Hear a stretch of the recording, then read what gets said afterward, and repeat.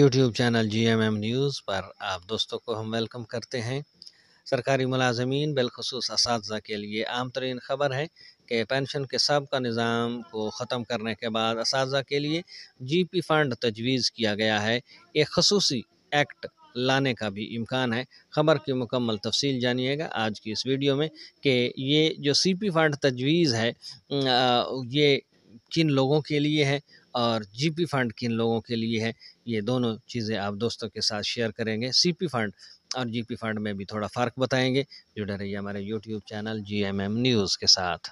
بسم اللہ الرحمن الرحیم۔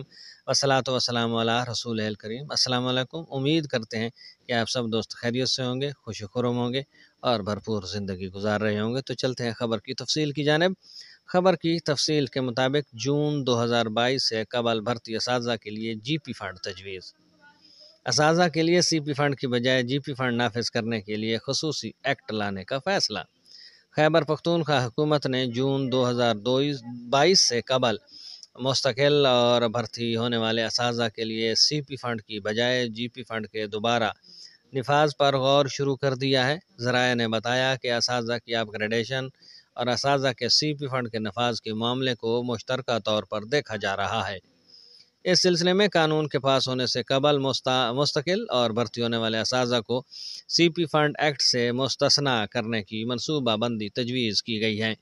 محکمہ خزانہ کی جانب سے اس حوالے سے رپورٹ طلب کی گئی ہے، جس کی روشنی میں آئندہ کا لاہ عمل طے کیا جائے گا۔ اساتذہ کے لیے سی پی فنڈ کی بجائے دوبارہ جی پی فنڈ نافذ کرنے کے لیے خصوصی ایکٹ لانے کا امکان بھی ظاہر کیا جا رہا ہے۔ بتایا جا رہا ہے کہ سفارشات اور تجاویز کی حتمی منظوری صوبائی حکومت کی جانب سے دی جائے گی۔ یہ تھی آج کی بڑی خبر۔ کہ حکومت نے سی پی فنڈ کی تجویز دی تھی۔ اس تجویز پر قانون بنایا گیا تھا کہ جون دو ہزار تیئیس کے بعد نئے بھرتی ہونے والے اساتذہ اور ملازمین سی پی فنڈ طرز کے اوپر ان کی پینشن بنائی جائے گی، جبکہ اس سے پہلے والے اساتذہ کا جو ہے وہ دو ہزار تیئیس سے قبل کے جتنے اساتذہ تھے، ان سب کے لیے جی پی فنڈ تھا۔ جی پی فنڈ کیا ہوتا ہے؟ جی پی فنڈ یہ ہوتا ہے کہ گورنمنٹ جو ہے ایک مخصوص تنخواہ سے کٹوتی کرتی ہے اور کٹوتی کرنے کے بعد وہ اکٹھے ہوتے رہتے ہیں، ان کے اوپر منافع لگتا رہتا ہے۔ جبکہ جب وہ اکٹھے ہو جاتے ہیں پیسے ریٹائرمنٹ پہ بندہ ہوتا ہے تو اس کو پھر منتھلی بنیادوں پر پینشن دی جاتی ہے۔ جبکہ سی پی فنڈ اس سے قطعی طور پر مختلف ہیں۔ سی پی فنڈ میں یہ ہوگا کہ جتنی بھی تنخواہ ہوگی، اس میں سے ایک مخصوص قسم کی کٹوتی کی جائے گی، مخصوص قسم کی کٹوتی جمع ہوتی رہے گی۔ جتنے فیصد کٹوتی ہوگی، اتنے فیصد حکومت اس میں شامل کرے گی۔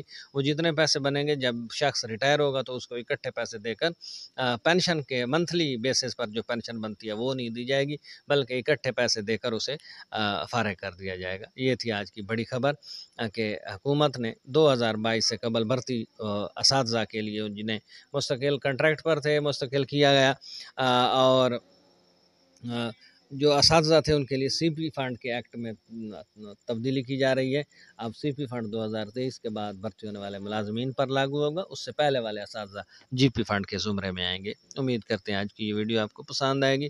ویڈیو پسند آئے تو چینل کو سبسکرائب کیجیے گا۔ ساتھ میں لگے بیل آئیکن کو ضرور دبائیے گا تاکہ اس طرح کی آنے والی ویڈیوز کے لگاتار نوٹیفیکیشن آپ دوستوں تک بار وقت پہنچتے رہیں۔ اب تک کے لیے اتنا ہی۔ ملتے ہیں نئی خبروں کے ساتھ۔ اپنا خیال رکھیے گا۔